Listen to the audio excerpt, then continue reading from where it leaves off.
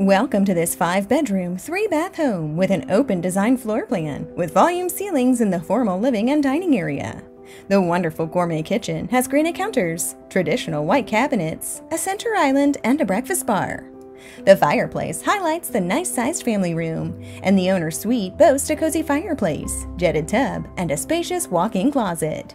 It also includes a sparkling pool and spa. Make your dream home a reality by calling Mary Anne Rozsa